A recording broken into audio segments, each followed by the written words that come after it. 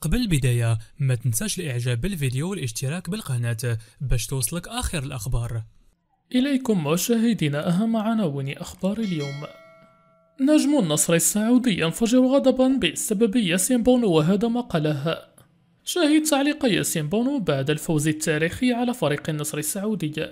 فريق إشبيليا الإسباني يفاجئ النجم المغربي ياسين بونو بعد تألقه الكبير في مباراة الهلال والنصر. والآن إلى التفاصيل. ولكن من قبل ما تنساش دير j'aime الفيديو وتشترك في القناة وتفعل زر الجرس باش تكون أول واحد كتوصل بجديد الأخبار. نجم النصر السعودي ينفجر غضبا بسبب ياسين بونو. شهدت مباراة الهلال والنصر السعودي في نهائي كأس خادم الحرمين الشريفين أمس الجمعة أداء متألقا من الحارس الدولي المغربي ياسين بونو الأمر الذي أثار استياء نجم النصر السابق فهد الهريفي. وعبر الهريفي نجم النصر السعودي سابقا عن غضبه من خلال تغريدة نشرها على حسابه الرسمي بمنصة إكس قائلا من وين جابوا لنا بونو؟ مرفقا إياها برمز تعبيري يعكس غضبه.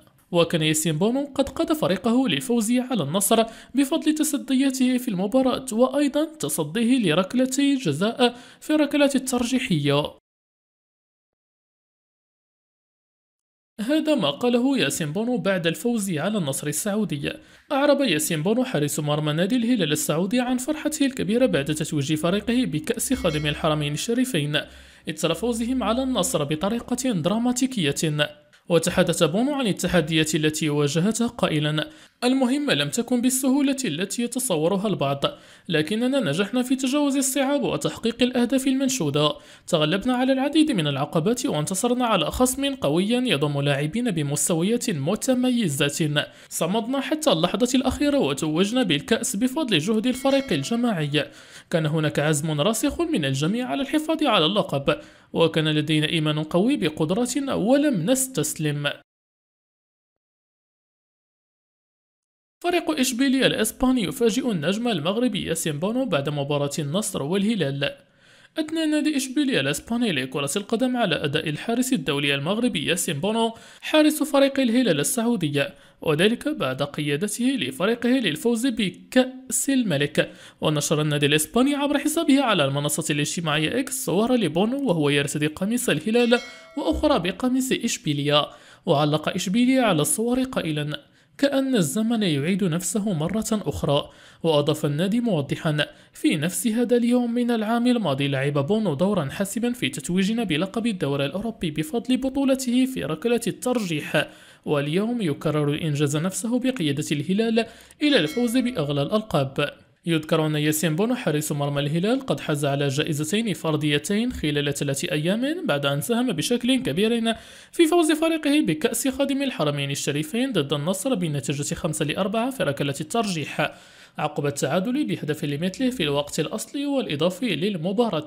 وحصل بونو على جائزة أفضل لاعب في نهائي كأس الملك وهذه الجائزة جاءت بعد فوزه بجائزة أفضل حارس مرمى في دور الرشن السعودي.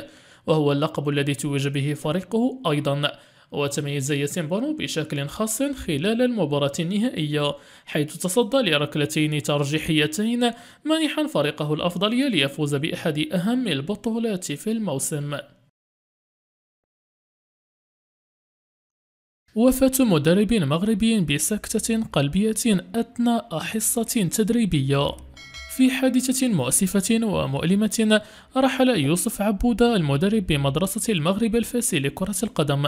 تاركا الحزن يخيم على الجميع وذلك بعد أن أصيب بسكتة قلبية أثناء إشرافه على تدريبه لفئة دون 13 سنة يوم الجمعة.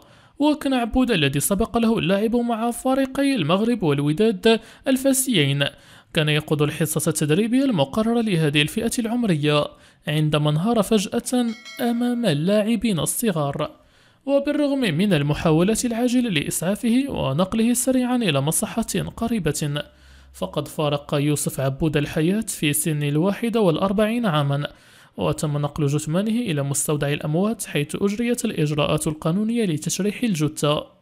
ومن جهته أصدر النادي المغرب الفاسي بيانا رسميا معبرا عن بالغ الحزن والأسى بوفاة عبودة. وجاء في البيان نعزي أنفسنا وجمهور النادي في فقدان أحد الأعمدة الأساسية للفريق يوسف عبودة الذي انتقل إلى رحمة الله إثر سكتة قلبية مفاجئة أثناء أداء مهامها إنا لله وإنا إليه راجعون. نسأل الله أن يتغمده بواسع رحمتها وأن يسكنه فسيح جنتها وأن يمن على أهله ودويه بالصبر والسلوان. وكان يوسف عبودة شخصا محبوبا عرف بحبه الشديد لهذا النادي وبتفانيه في خدمتها وسيظل ذكره حاضرا بيننا بما تركه من أثر طيب وسجايا كريمة في قلوبنا. رحم الله الفقيد وإنا لله وإنا إليه راجعون. الصحافة الإسبانية تشيد بالأداء المذهل لإبراهيم دياز مع ريال مدريد.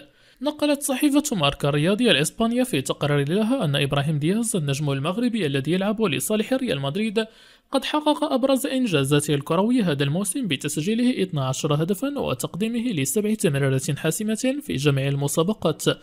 ليصير بذلك عنصرا أساسيا ضمن الصفوف الفريق الملكي. وذكرت الصحيفة المعنية بشؤون الرياضة أن دياز الذي تحول إلى الخيار الأول كبديل لدى المدرب أنشيلوتي هذا الموسم يمتلك مهارة طبيعية تمكنه من مراوغة الخصوم بسلاسة مذهلة. وقد ساهمت هذه الميزة الفريدة بالإضافة إلى كونه من اللاعبين النادرين الذين يحظون بمثل هذه القدرات في عالم كرة القدم. في تمكينه من إرباك المدافعين عند اتخاذ قراراته الحاسمة. مؤكدة أن اللاعب المغربي البالغ من العمر 24 عاما لديه القدرات ليكون لاعبا أساسيا في أي فريق عالمي آخر. وألقت ماركة الضوء أيضا على مهارته الفنية المتقدمة وقدرته على قراءة اللعب والتطور الفيزيائي البارز الذي يمتاز بها مشيرة إلى أن اللاعب المغربي يلعب دورا محوريا في تشكيلة ريال مدريد ويعتبر من أهم العناصر في مباريات الدوري الإسباني. وأكدت الصحيفة أن إبراهيم دياز يستحق قطعا المزيد من الوقت للعب كما يؤكد كارلو أنشيلوتي مع تحقيقه ل 12 هدفا وتقديمه سبع تمريرات حاسمة حتى الآن يقف كرابع أكثر لاعبي الفريق تأثيرا بعد جود بيلينغهام وفينيسيا جونيور ورودريغو. واختتمت ماركا بالقول ينتظر إبراهيم دياز تحدية كبيرة قادمة بما في ذلك المباريات الثلاثة الأخيرة في الدوري الإسباني ونهائي دوري أبطال أوروبا بالإضافة إلى المشاركة مع المنتخب المغربي. إليكم مشاهدينا أهم عناوين أخبار اليوم. نجم النصر السعودي ينفجر غضبا بسبب ياسين بونو وهذا ما قاله. شاهد تعليق ياسين بونو بعد الفوز التاريخي على فريق النصر السعودي. فريق إشبيليا الإسباني يفاجئ النجم المغربي ياسين بونو بعد تألقه الكبير في مباراة الهلال والنصر. والآن إلى التفاصيل.